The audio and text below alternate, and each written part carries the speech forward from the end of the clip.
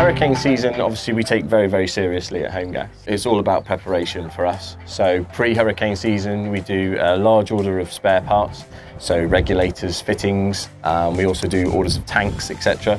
So, if we do have an incident, then we've got the backup there to be able to get people up and running as soon as possible. We learnt a lot from Hurricane Ivan. We learnt that it's better for us to place vehicles around three areas of the island we actually split our service and delivery teams into uh, three hurricane teams and they cover uh, the western part of the island, George Town and then the eastern districts. Pre-hurricane season we work very closely with Ofreg and the hazard management team and the government. Uh, any requirements that they need and we meet those requirements. Uh, in fact we can exceed those requirements.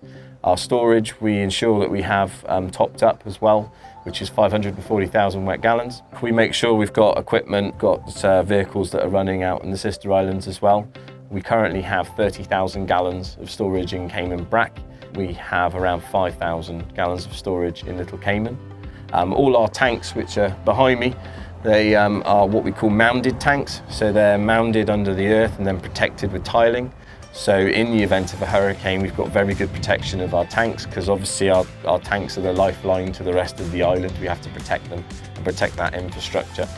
All of our guys as well, they're all got high level of training. Uh, they, we follow the CETP uh, qualification, which is the same accreditation that they use in the United States and we keep that up together every three years. Um, with regards to safety um, tests, etc., we offer that as a free service. Anybody can ring us and we'll come out and check their system for free, make sure they're all safe. And we do a pre-hurricane inspection as well, so anybody who wants us to come out, check their tank, check their installation, or even if they just haven't got gas and they're thinking of putting it in, because obviously, you know, with, with hurricanes we do lose power, um, and it gives it that option then that you're still able to cook, etc., if you need to after the event.